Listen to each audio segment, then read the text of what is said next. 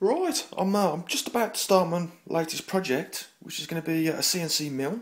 Now, uh, uh, what I'm going to do is I'm going to use this uh, uh, Perspex to make most of the mill, and uh, I'm going to make it a bit more rigid by uh, bolting it together with this uh, U-shaped aluminium I've got here.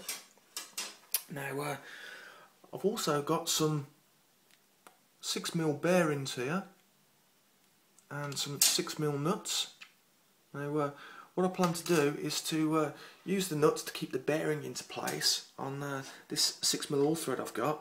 Now, uh, what I'm going to do is uh, cut the all thread into the uh, the length of which I want the axis to be, and and then I'm going to put the bearings on as a mock-up, to see what it looks like. I'm going to do that now. Right, I've got rid of the burrs off the edge now, and I've I've put a bearing on both the uh, X and Y axis. And uh, I've put nuts either side of the bearing to keep it in place. Uh, as we come down here the, uh, you'll see that uh, on the other side I've left a little all thread shown at the side. So now uh, what I'm going to do is I'm going to hook up a couple of stepper motors to them.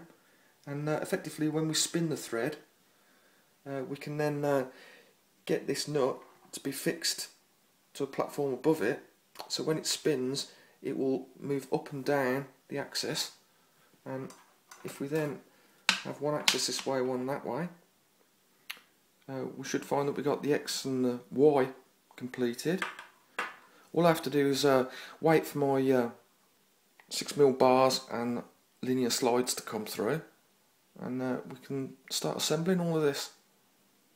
That's great then. And uh, thanks for watching